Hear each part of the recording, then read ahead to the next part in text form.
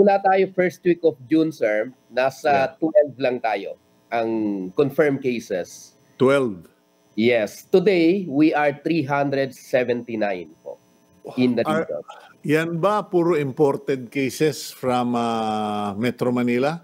Yes, sir. Ang unang nagpadagdag nung sudden spike sa atin are people from Cebu na mga estudyante na pinak Hmm. Ah, dito sa atin nung inalaw natin yung movement ng mga locally stranded individuals.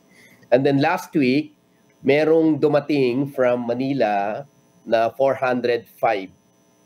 Dito sa 405 na to, 120 ho ang nag-positive nung PCR test natin.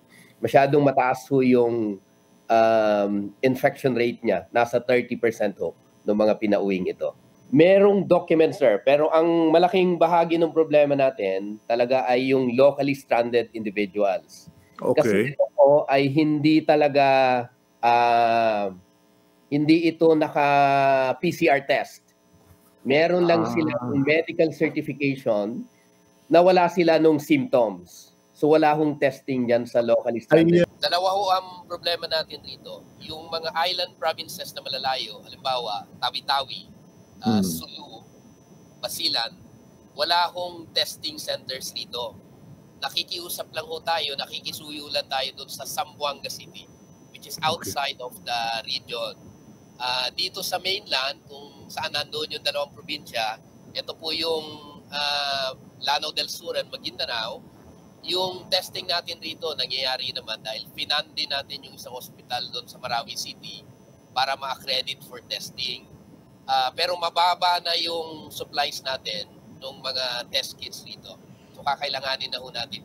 At the rate ah, Manila is sending yung LSI sa atin, ah, kailangan ho natin ng additional na supplies dito. Ang ideal ho talagang mangyari sir ay yung whether LSIs or ROFs, i-test na ho muna diyan. Kasi yung Yes. occasion for mixing and the transmission doon sa mga halimbawa eroplano o kaya Oo. barko, mataas ho masyado 'yan. So kung hindi natin 'yan sinegregate yung mga positive at saka potential na positive at saka negative diyan, Mhm. magkakaroon pa rin ho ng further transmission. Yung contact tracing ho ang mahirap dyan. One, una kailangan i-sort out natin yung procedure talaga dyan. Pangalawa, kailangan ma-improve yung coordination. Hindi ho pwede na hindi nasasabi sa mga probinsya na may darating eksaktong saan ilaland yan at kung kaya natin, wag ilan sa mga malalayo.